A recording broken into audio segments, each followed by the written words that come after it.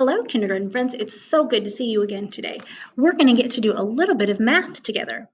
I want you to take a look at your screen. Do you see two numbers? You do? I see the number 13 and the number 27.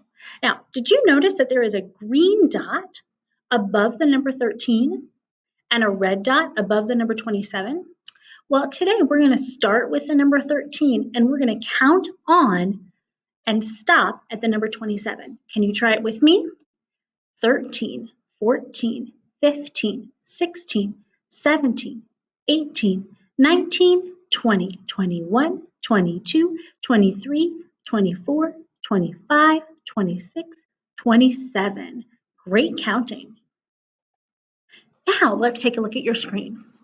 Take a moment and see what you notice. Do you see a 10 frame? I bet you've used one of those in your classroom.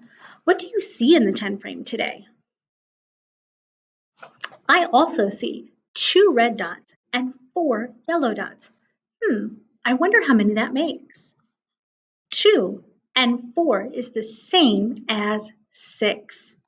Now, today you're going to have a paper that looks just like this.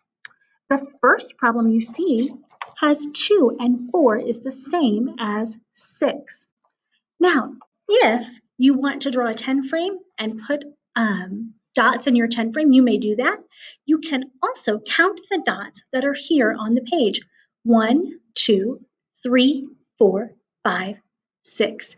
2 and 4 is the same as 6. Have fun, and I'll see you again tomorrow.